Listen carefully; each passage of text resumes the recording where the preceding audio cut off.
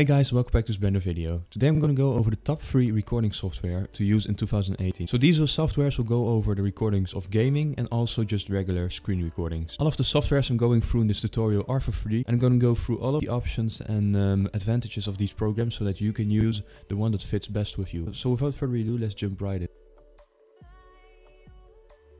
So on number 3, I actually had a hard time choosing between two. I have XSplit and Fraps. So to start off here is XSplit. XSplit I used to use it in the past, but like in the beginning after Camtasia Studio. I used to use this. It's pretty good. It has pretty much the same features as OBS. It's the same idea. So here you have the... Um, was it called the broadcaster? Now you can see down here the broadcaster is the more like advanced uh, option of it. So as you can see here powerful live streaming and recording software. Choose product rich video content with the video games you love. Of course also screen recording. And the second option was the gamecaster the XSplit gamecaster. And that's the one right here. I assume it's their basic their standard one. It's the world's easiest way to start streaming or recording your pc or console games. So you can also stream with it which was pretty well known and it, it, supports Twitch as you can see here and you can also just regularly record. This really comes back to like OBS. It's it's the same idea. So this is a really good one. I would definitely advise you to yeah, to try and you know just look if it goes well with you. So as I said, the the other one that I put on free, which I was pretty hesitant about, is Fraps. Now uh, the reason I put these two on number three is because they both have pretty much the same capacities and yeah they are in the same range of popularity and uh, the, yeah the numbers who the people who use this. So Fraps uh, you might know when you saw a video today, uh, not a lot anymore, but like in the past when you saw this this number, you know, this case it's 99, but you saw it in the corner of a recording, some video, for example, on YouTube. At that moment, you knew you used Fraps. I, I kind of felt, yeah, forced, not really forced, but obligated to like put this in my top three, because yeah, it is something that's still used nowadays and is pretty useful. Uh, as I said, yeah, disadvantages such as having that thing in the corner all the time, believe you can't remove it, is pretty annoying. But it has a lot of advantages, so as you can see it has a simple layout. It's really easy to use. Recordings are going pretty fast. You can record basically whatever you want. It's not really difficult to use. And yeah, if you want to record something and you're just starting Fraps, really, you could really use it. It's, it's a good one. Moving on to the number two of this list, we have Shadowplay. Now, before going into this one, I do have to say some things about this. You have to have a really good graphic card, and I believe it has to be even be from NVIDIA. Um, you can see, you can record it, uh, also so instant replay and record. Um, yeah, this is also like you can capture it for as high as you want. It captures highlights and everything, of course, everything you do, like your kills. It just basically records your screen in a really high quality. The FPS in this video, as you can see, it's really good.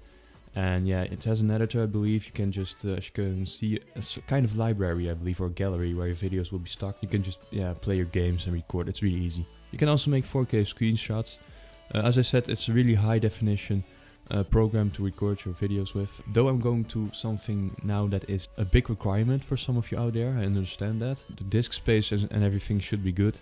There's no problem with that. Um, this file size isn't that big too.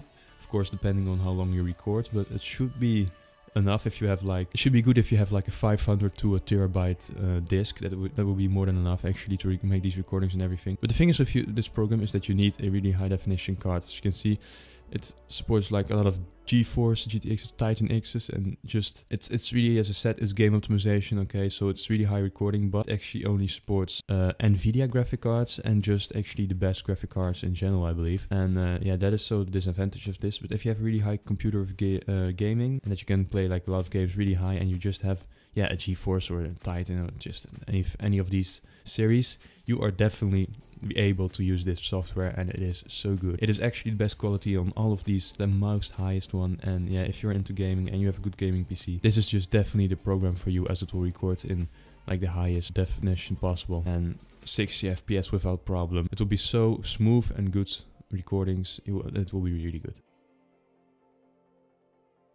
Putting it on number one, some people might have seen coming at OBS and it just it is the best one out there. I'm using it currently. It's the one that I've been using for years now. I used to use Camtasia in the beginning. That was my first one. And I basically already moved right away to uh, OBS after that. And this is just for me still the number one. And not only because it's my number one, I put that one, because it is one of the most easiest programs to use. Um, it has a lot of advantages and going through that, them a little bit. To start off, it has a really simple layout, as you can see. I mean, it might, might in the beginning you'd be like, oh what? But here you can see start streaming is for streaming. This recording is just recording a gameplay, for example.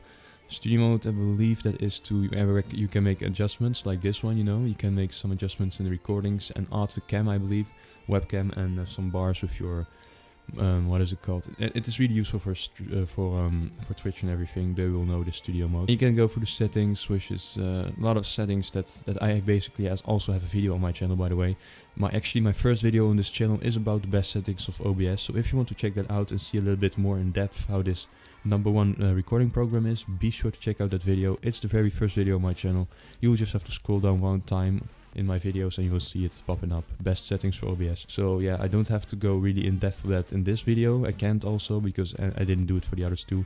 But yeah, there are some settings and you can get a really high definition out of it. That's all I can say you. But to continue, um, it's really easy. You create a scene. So in the scene you can make multiple options of recording. Those are the sources.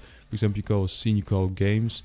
And then you come here, you put Overwatch. Um, name it uh, Fortnite, um, but yeah, and League of Legends. You can you can put whatever you want, and you're gonna record it. And if you click on it, you have to be sure you're on the scene selected. And you click, for example, this one is I don't know, I said Fortnite or something like that, and you click it, and then you will see it actually appearing here. This desktop audio, so it has the audio like that you record when I click with my mouse, uh, when I type the things, when there's a music playing when there's a video playing, all of those sounds basically, and then your mic, of course, that can be enforced with, as you can see here, Voicemeeter, for example, or Audacity. Uh, as you can see some of the features here, I basically went through them now, but all of that is in the video, of course, be sure to check that out. And yeah, it is, as it says here, great professional productions. It is definitely a professional program, guys. It is not for nothing on number one. It's a free, professional recording software to use. Definitely recommend this one, and uh, don't hesitate to look into them uh, in depth if you really want to um, take one of these three. But they are definitely still the best recording softwares to use also in 2018 now. But anyway, I would say in conclusion, to start off with the number threes, the two ones, the XSplit and uh, Fraps. So XSplit I would definitely recommend to use if you have a good computer pretty much and XSplit is basically the Shadowplay without the necessarily of having a graphic card that is like GTX of Titan or something. Uh, of course, you have to have a pretty decent computer to actually have some recordings that actually have 30 to 60 FPS minimum. XSplit definitely recommended. Fraps is like the minimum on this list, I could say. Like lowest quality or just the least recordings would be done with Fraps, to be honest. It's really good but uh, tend just to take the most easiest recordings actually. For Shadowplay, as I said, you have to have a good graphic card, probably for Nvidia, and it is probably a GTX or Titan. If you have so, and you have a good computer, then this is the program for you, Shadowplay. It has the best quality owns again of these free recording software, so definitely advise you to go in depth with if you have a really good computer. And number one, OBS, probably the most useful one actually because it can record high quality games and also just low quality uh, computers that just have to do a screen recording. It can do anything OBS. Uh, you have just to do some, some slightly changes in the settings, but for the rest OBS can barely everything. Uh, if you have a bad computer, if you have a good computer, doesn't matter. OBS Studio is here and it has a really good program and for free as I said, you can download on Windows, Mac and Linux. So just go ahead and choose which one is best for you from these softwares I went through. I hope I helped you out a bit. These are the best softwares to use to record your screen in 2018. I hope you enjoyed this video. If you did, please leave a like, would be really nice. Subscribe to my channel would also be really nice. And I hope to see you in the next video. Goodbye.